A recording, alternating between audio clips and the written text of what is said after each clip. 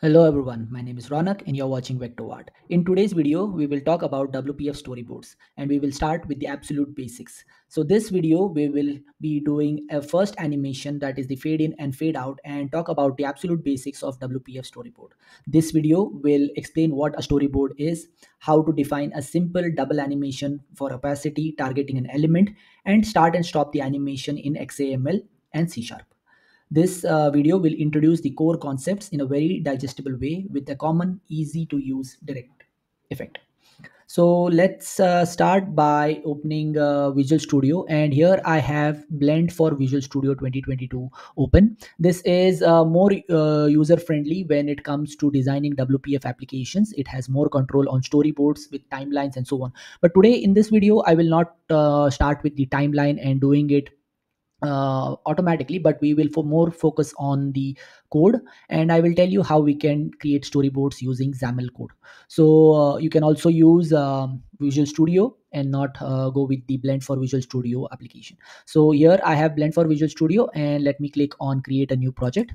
For those who haven't subscribed to my channel please do subscribe to my channel. It means a lot. It motivates me to create more such videos. So moving ahead here uh, you will have to select wpf app with. net framework and not go with the. net core because. net core does not have the uh, best support for uh, storyboards and animations. So uh, i would recommend you to check uh, click the WPF app with .NET framework uh, template and select this. I have it in my recent templates, but you can also search for that in the templates over here. So let me select that and click on next.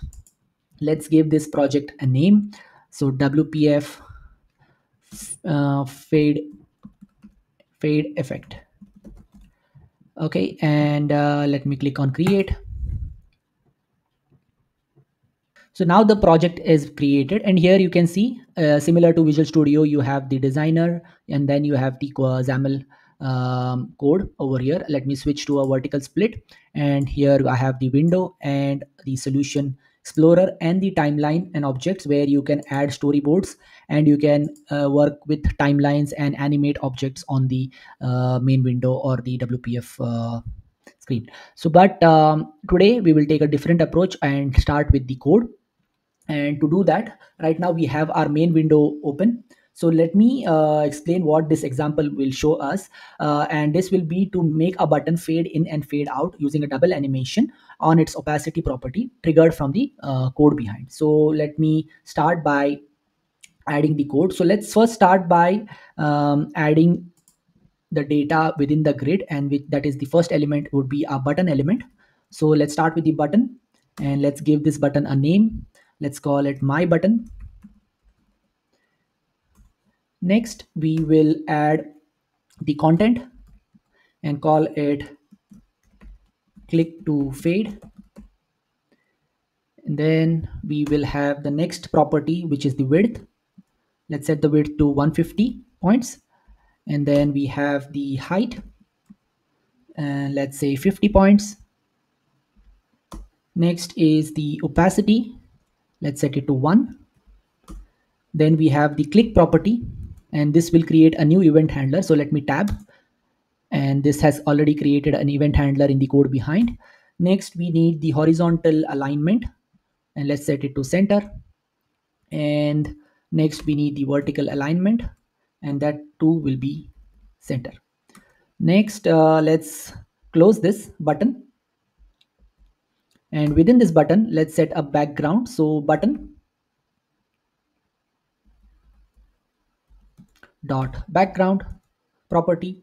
And let's close this. And within this let's set a linear background. And that is the linear gradient brush. And within this linear gradient brush let's start a start point of 0 comma 0 is the start point.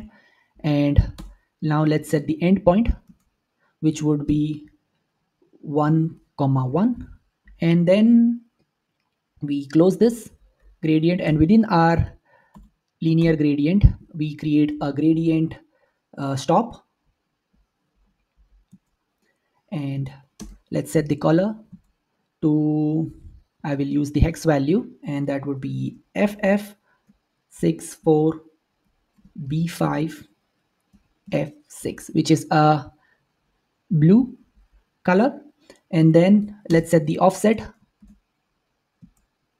to say 0 next uh, we need to close this. So let me close this up. Next we need another gradient stop. So let's start with gradient stop again. This time the color would be a little different. So let me put the hex value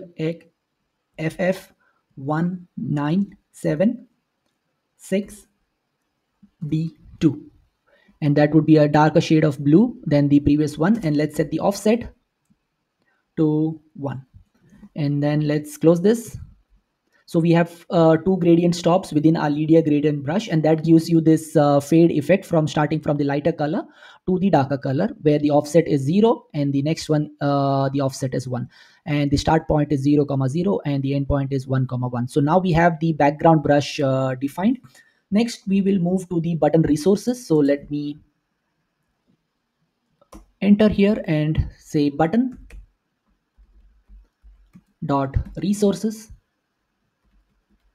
And within our resources let's uh, define the storyboard in this uh, resource. So let's start with storyboard tag.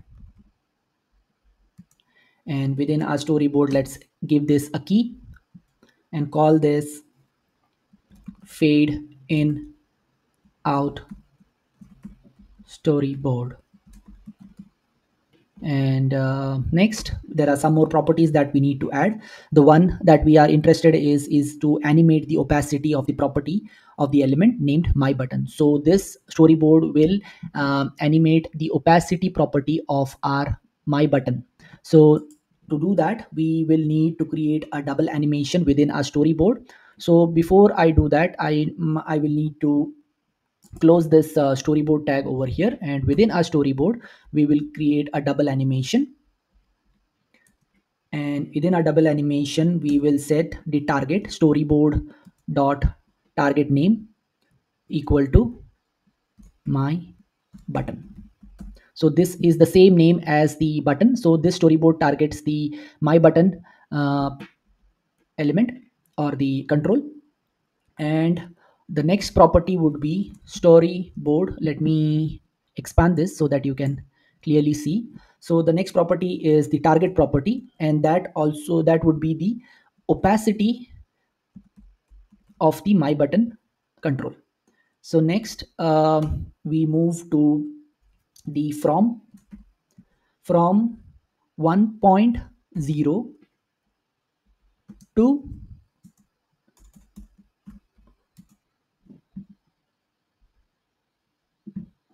0 dot 0 is the opacity that I want to switch to. And uh, let's set the duration as well. So duration would be 0 dot 0 dot 1 second. So so it's one second. And then um, next property would be the auto reverse. So let's set it to true. This will reverse once the animation is over it will automatically reverse to the original state. And then the next property would be to repeat this behavior and let's say 1x and then let's finally close this uh, double animation. Uh, i see there is a small error in the duration and let me see why. Because i have used dot instead of a colon and that is not how we describe or define time. So it should be a colon instead of a dot. And then uh, our double animation is complete. So and also our storyboard is closed and also the button resource is closed. So as you can see our storyboard is uh, defined now. Let's me move to the code behind and um, start working on how to trigger this storyboard. So because now if i run this um, code you can see that uh, the animation is not getting triggered even after I click the button. So because uh, the code is not available, so to do that, let uh, let's go to this code behind here. And here we need uh, to first create an object. So let's say private storyboard.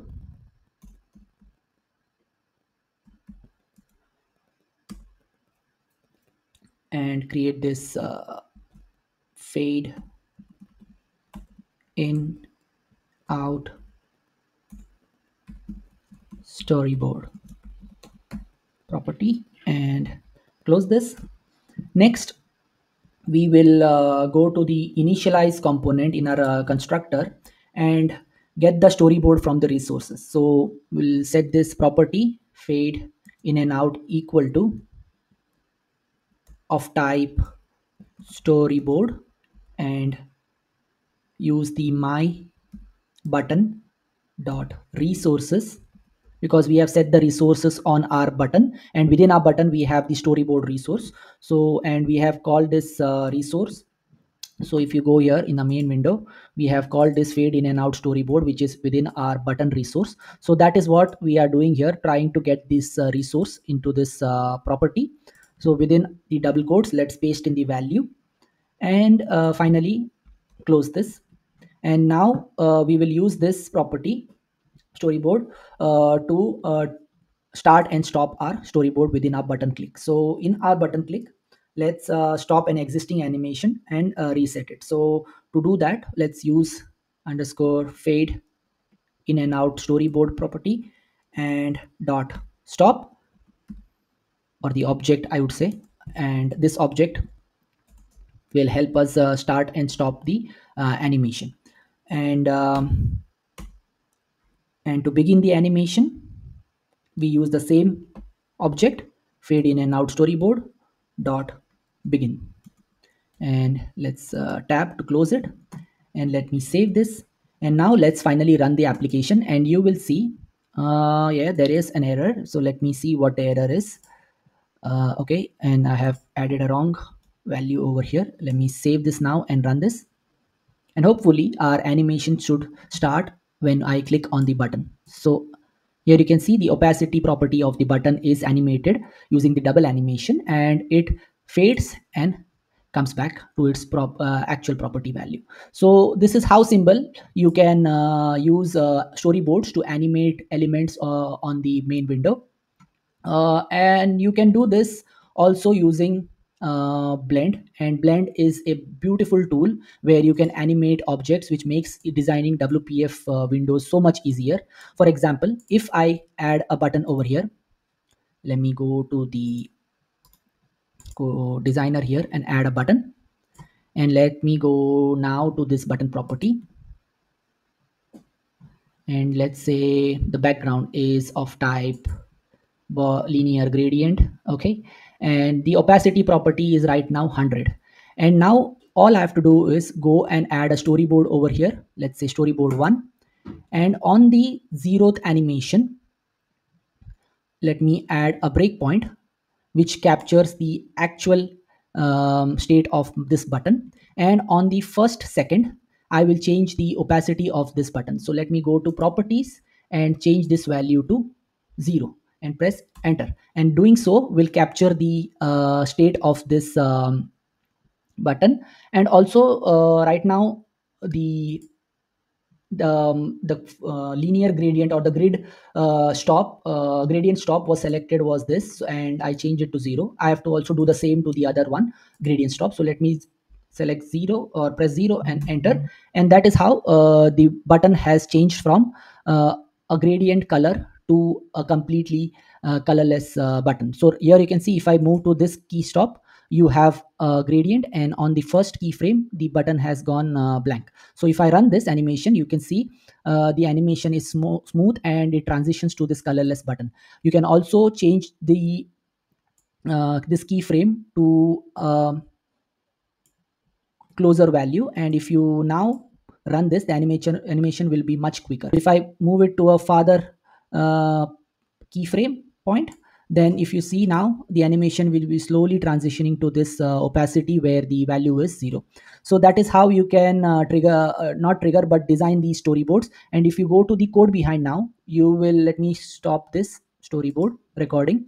And um, if you see the code over here you will see it has created a storyboard within the window resources and not the button. But if you can see uh, it has created a color animation using keyframe uh, uh, resource. And within that it is easing color keyframe um, it is using this easing color keyframe uh, element to uh, transition with the colors that we have used. Here we have used a different approach where we used a double animation to uh, animate the um, storyboard uh, but um, in this uh, scenario it is using it is doing this differently. So there are various ways to do it but the same uh, thing applies. So now if i want to trigger this animation i can simply uh, go to this button here and um, on click